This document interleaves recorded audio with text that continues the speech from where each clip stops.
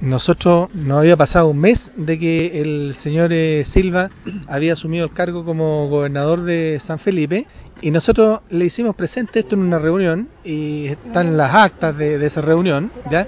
Entonces eh, al señor Infante se le hizo presente, ¿ya? Que esto era una irregularidad y que por lo tanto él como autoridad no podía estar pagándole el sueldo de médico del Hospital San Camilo a una persona que tenía un cargo eh, de eh, gobernador. Sin embargo, él en, la oportunidad nos dijo que, que no, que los asesores decían que no había nada eh, ilegal en ello. Entonces, nosotros hoy día nos preguntamos qué responsabilidad administrativa y política tiene el señor Infante y cómo él va a resarcir a la, a, la, a, la, a la, comunidad frente a esto, porque él era el que le pagaba el sueldo al, al señor Silva, porque él es el empleador del servicio de salud, que no era efectivo de que hubiera una incompatibilidad administrativa para ejercer dos funciones a la vez.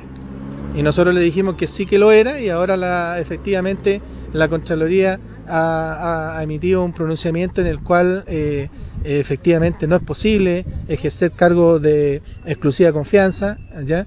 y seguir trabajando como empleado público en otro servicio. Yo creo que el señor Infante le debe una explicación a, los trabajadores de servicios de salud y a la comunidad eh, del Valle de la Concagua de por qué él, eh, a, sabiendas que esto era ilegal, él siguió eh, perseverando en esto. Él lo menos que debiera hacer es pedir disculpas a raíz de esto. Él, él, lo menos que puede hacer. Aquí debía haberse instruido un sumario, ¿ya? eh, debían haberse perseguido las eh, responsabilidades administrativas, ¿ya? porque a cualquier funcionario no le van a estar pagando dos sueldos así porque sí.